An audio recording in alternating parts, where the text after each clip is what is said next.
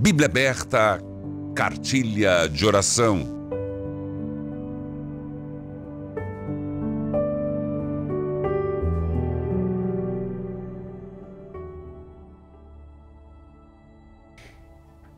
A volta de Tobias.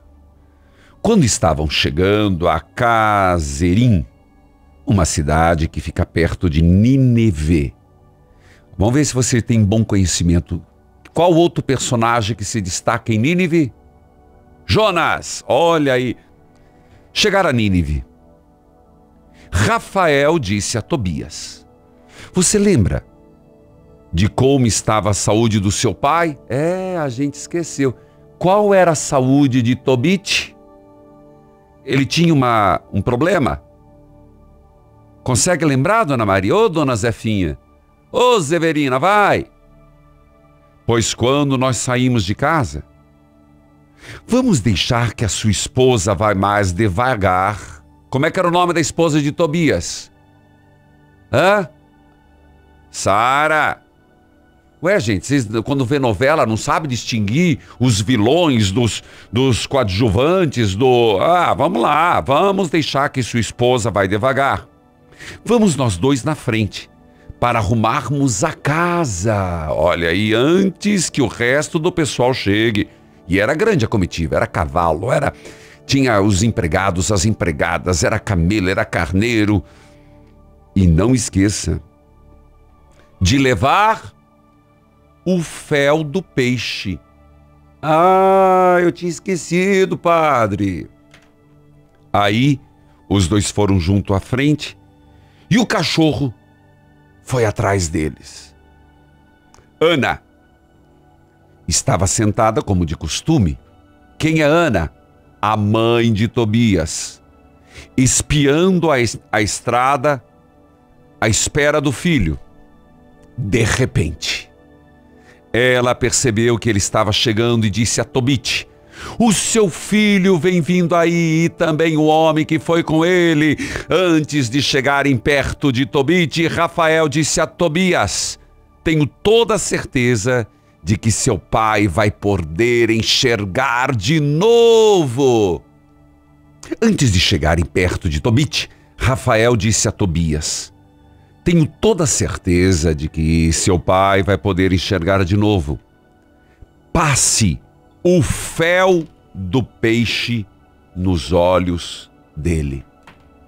Esse remédio fará com que as manchas brancas encolham e caiam dos olhos dele como escamas.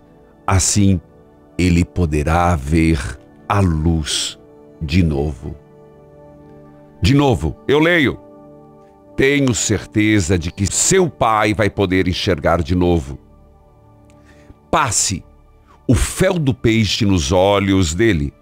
Esse remédio fará com que as manchas brancas se encolham e caiam dos olhos dele como escamas, assim ele poderá ver a luz de novo. Ana saiu correndo e abraçou o filho e disse: Até que enfim. Estou vendo você de novo, meu filho. Agora já posso morrer. E começou a chorar. Tobit se levantou e, tropeçando, saiu pelo portão do pátio. Tobias, com o fel do peixe na mão, chegou perto do pai, segurou-o pelo braço e soprou nos olhos e disse: Tenha coragem, pai! Tenha coragem, pai! Aí ele passou fel nos olhos dele. Depois, com suas mãos, tirou as manchas dos olhos do pai, começando pelos cantos. Tobit abraçou o filho, chorando disse: Até que enfim estou vendo você, meu filho. Você que é a luz dos meus olhos. Palavra do Senhor, graças a Deus. Ah, meus irmãos, aqui Primeiro, um pai que diz: Agora estou vendo você, meu filho, você é a luz dos meus olhos. Mas tem outra reflexão. A presença do arcanjo. Mas eu queria que você olhasse ali um pouquinho antes.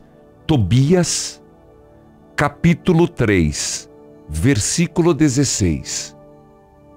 Naquela hora, o Deus glorioso atendeu às orações de Tobite e de Sara. Ele enviou o anjo Rafael para curar os dois, para tirar dos olhos de Tobite as manchas brancas, a fim de que ele pudesse ver novamente a luz de Deus, e para dar Sara, filha de Raquel, em casamento a Tobias, filho de Tobite. Filho, filha, Deus enviou o arcanjo lá atrás. Quanto tempo? Até o milagre acontecer. No plano de Deus está a nossa cura, o nosso milagre. Você está entendendo? Mas não é no nosso horário, na nossa, no nosso dia, no nosso tempo. Deus enviou seus arcanjos para me ajudar, para te ajudar. Vai acontecer. No plano de Deus tudo é bom. Quanto tempo? Rafael já circula entre nós. Amém.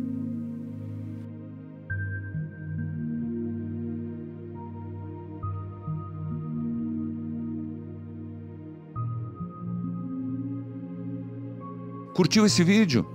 Então se inscreva no canal e envie para o seu amigo ou familiar que precisa de conselhos espirituais. Evangelizar? É preciso.